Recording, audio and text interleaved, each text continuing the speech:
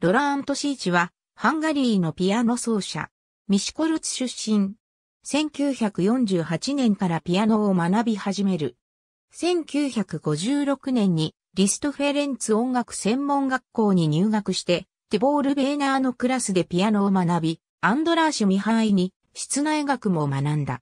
またラヨシュ・ヘルナーディにピアノの個人レッスンを受けた。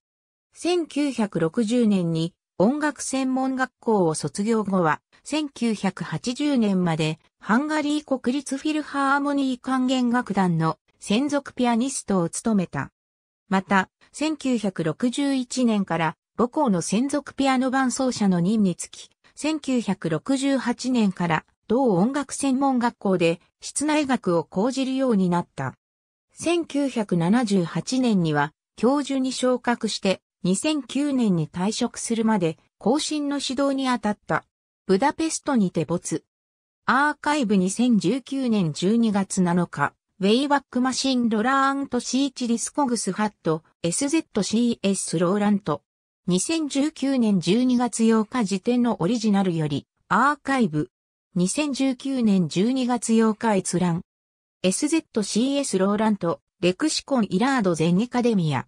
2019年12月8日時点のオリジナルよりアーカイブ。2019年12月8日閲覧。